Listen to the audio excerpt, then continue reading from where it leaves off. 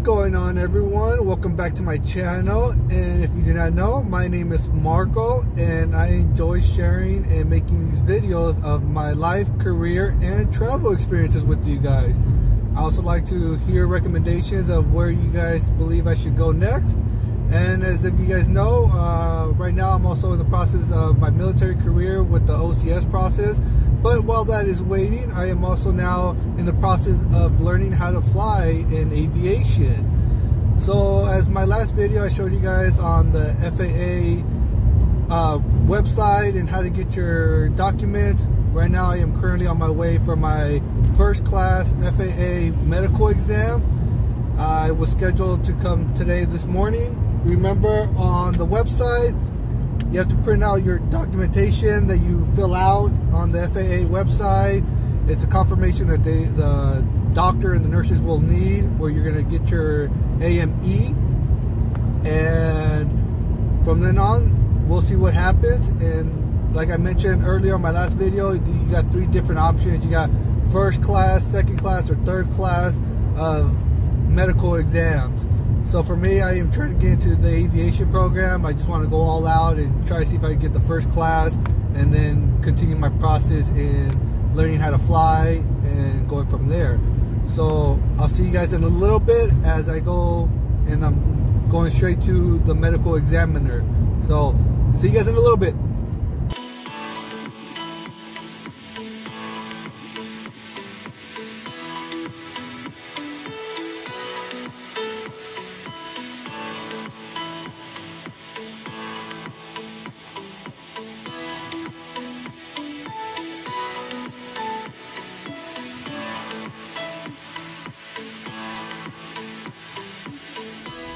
What's going on guys and I am done and completed with my time at the FAA medical exam uh, with the doctor.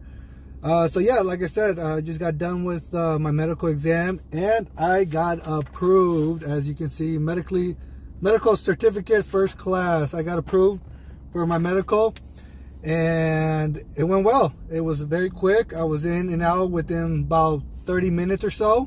All they did was uh, they called me. I did my height and weight, my vision. Then after that, they took my blood pressure. I had to take a urine sample. They told me the urine sample is mainly for uh, it's not it's not for a drug test, but it's to make sure that you know they observe what's inside your blood system. I'm assuming and then after that, I met with the doctor, and the doctor once again gave me a little eye vision exam as well as a color vision. Um, went into um, observing my eyesight, such as if I had a lazy eye, my ears, checked my heart rate, and um, that was pretty much it. He asked me if I had any questions or if I had any concerns, and I told him I did not. And after he completed that, he went, filled out the documentation that I had to fill out for them, my confirmation. He had to do some notifications. After that, he came back into the room and gave me my medical uh, my medical certificate, first class. And after that, I was completed, and I finished off by paying my dues, which, like I said, uh, if you go through the FAA website that I showed you guys on my last video, it it varies. It ranges between 100 to 300 dollars. Um, no insurance covers it. You will have to pay out of pocket. I have no idea why, but mine cost me 150 dollars. So just be mindful about that. If you want to ask beforehand, by all means.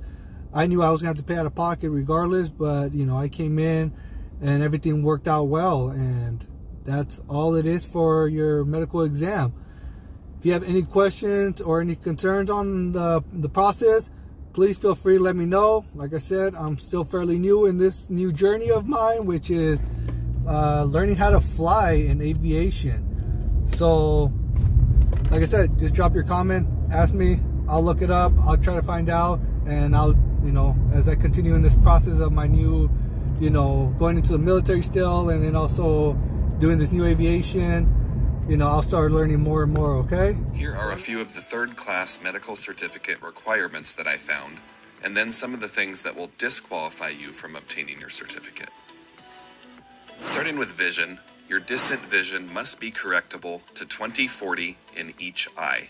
Your near vision must be correctable to 2040 or better in each eye when measured at 16 inches. Color vision is the ability to perceive the colors necessary for safe performance of airman duties. This is fairly vague and leaves a lot up for interpretation. But there was also a note that if you fail a color vision test, you can still be issued a third class certificate, but it will read that it's not valid for night flying or by color signal controls. For hearing, you must pass one of the two audiometric tests, either a speech discrimination or a pure tone test. For vital signs, which include your pulse and blood pressure, ear, nose, and throat, you must not have any condition that interferes with flying, clear communications, or that causes vertigo conditions. And for mental health, you cannot have any type of diagnosis of psychosis, bipolar, or personality disorders.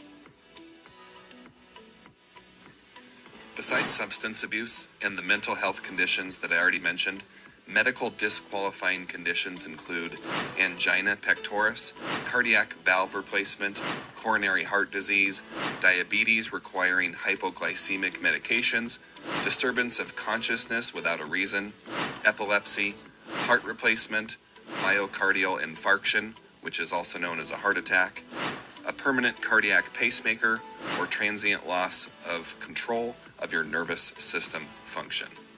So other than that, I'll see you guys next time.